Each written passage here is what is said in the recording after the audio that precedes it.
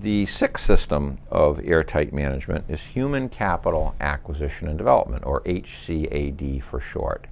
This is the collection of things that makes a culture a high performance culture, including the management styles, the recruiting processes, the employee development and improvement processes, and what investment you're making in your senior people that you want to keep long term. So you create what I call a Darwinian meritocracy, which is a self evolving and correcting culture that will generate a high performance uh, meritocracy